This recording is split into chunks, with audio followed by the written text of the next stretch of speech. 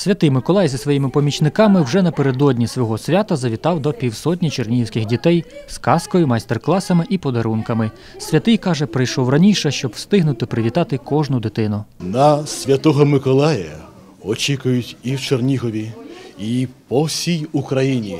Тож святий Миколай поспішає роздати свої подарунки діточкам вже сьогодні, адже жодна дитинка не повинна залишитись без мого подарунка.